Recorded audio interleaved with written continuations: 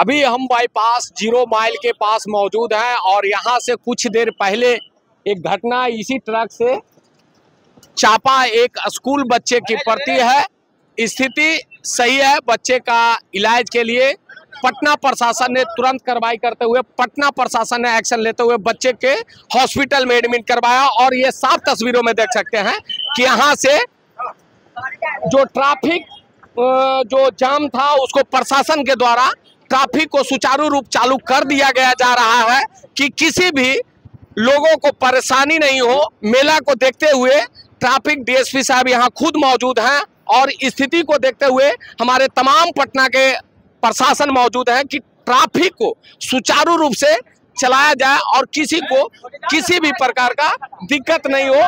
यहाँ पर पब्लिक लोगों का हुजूम है, लेकिन साफ़ तस्वीरों में देख सकता है कि यहाँ पर जो जिस प्रकार से ट्रक के द्वारा ये दिया गया ट्रक को प्रशासन के द्वारा जब्त कर लिया गया है और हमारे पटना पुलिस, जो कहा जाता है ना कि पटना पुलिस कहाँ है, जो साफ़ तस्वीरों में देखा जा सकता है कि पटना पुलिस तुरंत पहुँच चुके हैं और स्थिति को, ये जो रास्ता है, उसको सुचारू रूप से चालू करने के लिए पटना ट्रैफ़िक पुलिस सारे मौजूद हैं। स्थिति को और सुचारू रूप से चालू कर दिया गया किसी को आवागमन में कोई पर्व को लेकर दिक्कत न हो, इसलिए हमारे पटना पुलिस ट्रैफ़िक डीएसपी साहब खुद है। हम उनसे भी जानने का कोशिश करेंगे इस स्थिति को।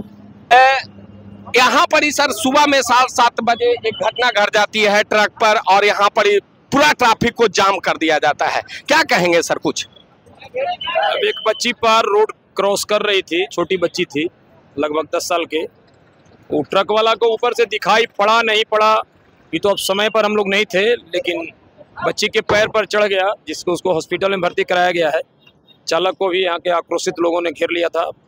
पुलिसकर्मियों के साथ भी धक्का मुक्की किया गया है, चालक के साथ भी मारपीट की गई है। उनको भी हॉस्पिटल में भर्ती कराया गया है चालक को, उनका गाड़ी के साथ तोड़फोड़ और गाड़ियों के साथ तोड़फोड़। कुछ इसमें असामाजिक तत्व के लोग, जो उनके परिवार के लोग नहीं थे इसका दूसरे लोगों ने नाजायज फ़ायदा उठाया है जो नहीं होना चाहिए था गलत है। कुछ लोगों के साथ मोबाइल भी तोड़फोड़ किया गया है आम नागरिकों के साथ भी गाड़ियों के साथ भी तोड़फोड़ की गई यानी कि आपका कहना है कि सर प्रशासन जो सुचारू रूप से व्यवस्था चालू करने के लिए यहाँ मौजूद जो ट्रैफ़िक प्रशासन थे उनके साथ भी कुछ असामाजिक तत्व के लोग मारपीट किए उनके साथ भी कुछ किए हैं। अच्छा। उनके साथ भी अभी सूचना मिली है कि उनके साथ भी लोग धक्का मुक्की और हाथापाई किए हैं। प्रशासन भी चोटिल है। प्रशासन भी यहाँ चोटिल है चोटिल है, प्रशासन चोटिल है। आगे हम लोग इसमें देख रहे हैं कौन कौन लोग संलिप्त हैं, हम लोग जानकारी दे रहे हैं इसके बारे में। ठीक है तो ये पटना के ट्रैफ़िक डीएसपी साहब का कहना था कि यहाँ कुछ असामाजिक तत्वों के द्वारा प्रशासन पर भी हमला किया गया और प्रशासन भी, कई प्रशासन भी चोटिल है।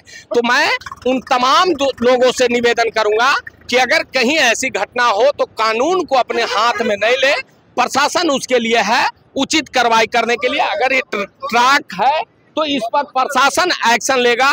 लेकिन कहीं ना कहीं प्रशासन पर हाथ उठाना या प्रशासन पर अपने कानून को हाथ में लेना कहीं ना कहीं ये गलत है। लोगों से निवेदन करूँगा कि ऐसे ऐसे असामाजिक तत्वों के साथ या अफवाह फैले लोगों के साथ कभी नहीं आए, क्योंकि प्रशासन, पटना प्रशासन मुस्तैद है और पटना प्रशासन के द्वारा, पटना के ट्रैफ़िक डीएसपी के द्वारा ये तमाम जो रास्ते अवरुद्ध किए गए थे, कुछ असामाजिक तत्वों के द्वारा, जो सुचारू रूप से चालू कर दी गई है। मैं धीरज कुमार, आप तक सच न्यूज़।